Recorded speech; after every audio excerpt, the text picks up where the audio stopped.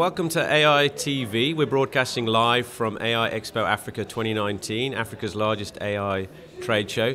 And it gives me great pleasure to welcome Amira Abbas from, uh, well, your quantum research group, UKZN, and you're a consultant researcher. That only just about fits on the badge here. So. I know it's a, it's a big, a big word. But you're into quantum computing, basically, which is the future. So let's learn about that. I'm sure our listeners and viewers would like yeah, to learn more about that. Yeah. What, what do you do? So I, yeah, so I, am, my research focus is on actually the intersection of, of machine learning and quantum computing. So it's very buzzwordy, but it's quantum machine learning, and the whole idea is just trying to build artificial intelligence algorithms that use these these different physical devices, these quantum computers. Right.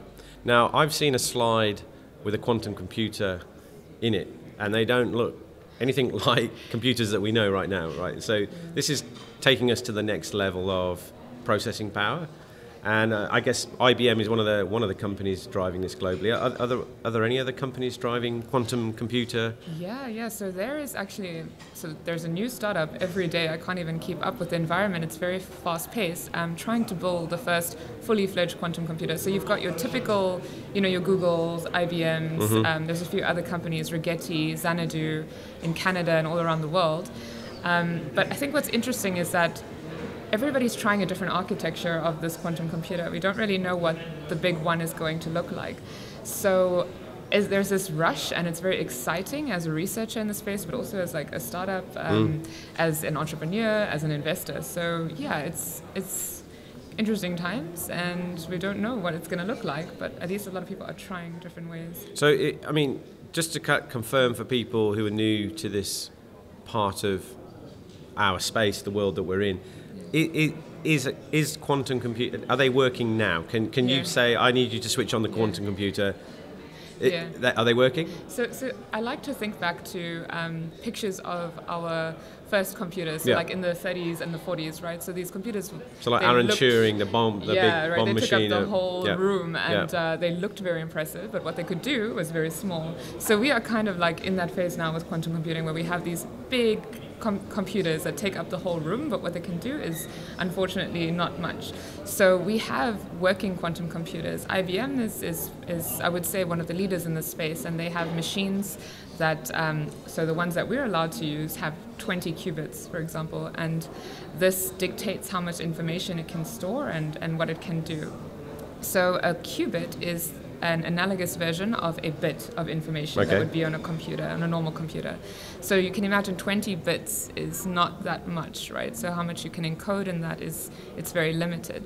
So we're working on very small scales with quantum computing right now, but it's growing very quickly and we're seeing a lot of investment into this industry and we're seeing a lot of partnerships with academia with academics and, and industry players and this is what is so fantastic about it so in layman's terms how does a quantum computer work and what is it going to unlock for us in com- terms of computing power? Yeah. So just those two things. What, okay. How does it work and then yeah. how much faster will it be? Yeah, so, so, okay. So how it works simply is you can imagine, so in a normal computer you've got a chip and on this chip there's, there's bits that can be manipulated, right? Ones and zeros. And now in a quantum computer, you have exactly the same idea where you've got chips and you can encode things into ones and zeros, but this chip is governed by different laws of physics. It's governed by quantum mechanics. And so now not only can you encode things in ones and zeros, but you also have this additional thing called superposition, which is basically you can think of it as something between zero and one. So it can be 0.5, 0.88, you know, the, the, and it can also be negative. So now you have a lot more space in which you can encode quantum bits of information. So this is what, what makes a quantum computer quite different. And also now these, these qubits, these quantum bits, can start to do weird things and interfere with each other. And this is what we call like quantum entanglement. So these properties are what makes it different.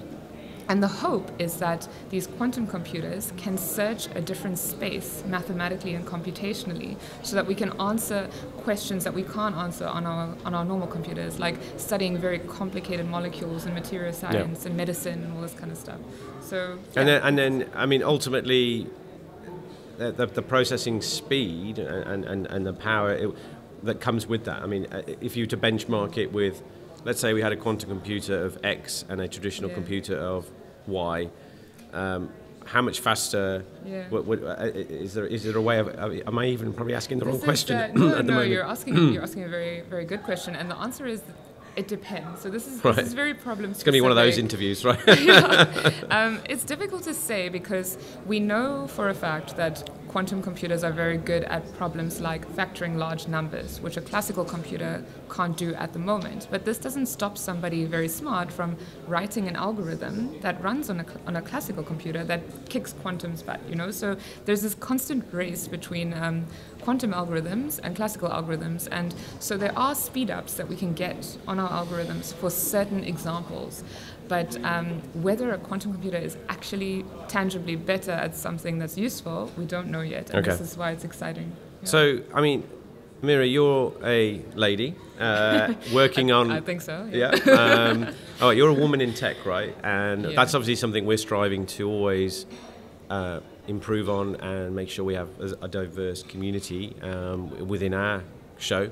Sure. But I mean, you've just really spent the last four, five to ten minutes talking about really the cutting edge, right?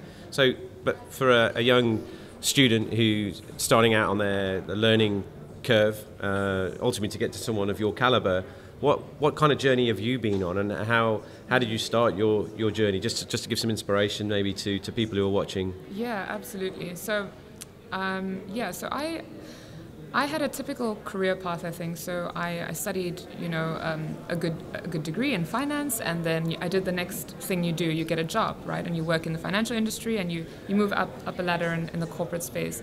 But for some, and even though I was I was relatively So, so you left left education into the world of work, right? yeah, yeah, yeah. okay. So I, I went to work for a bit, and um, and it was it was good. It was very interesting. Um, I was relatively successful in my career, but for some reason I was still unhappy, and I didn't know why. And so I tried to teach myself a lot of things in my extra time because we live in a time now where so many like great resources are available for free, right?